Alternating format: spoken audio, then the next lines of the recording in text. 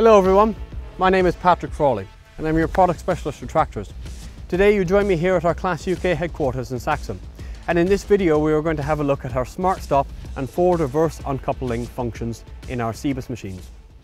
So you join me back up in the cab of our CEBIS HEXASHIFT machine, looking at some of the level of automatics that we have on our HEXASHIFT transmission.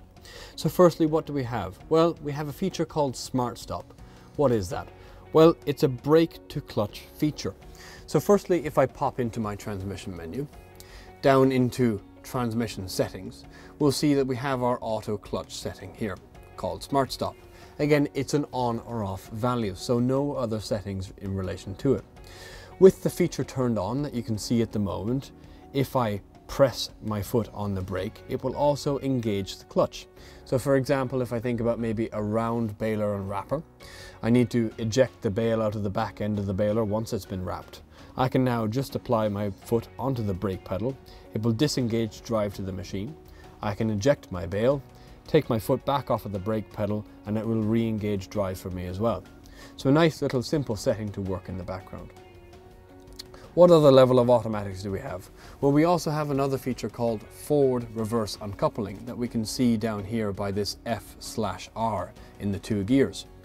By turning this on, it uncouples our forward gear from our reverse gear. So what do I mean by that?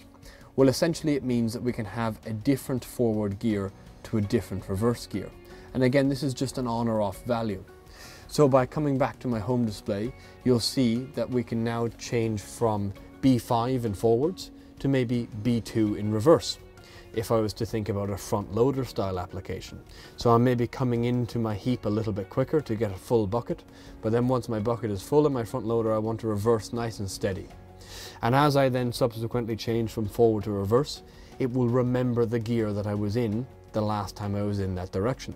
So for example, if I was to then change into B6 in forwards, now it would change from B2 to B6 each time I change from forward to reverse.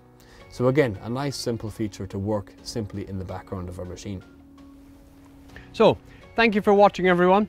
Feel free to watch some of the other videos in relation to your own specific machine. And if you have any further questions, don't hesitate to contact your local dealer.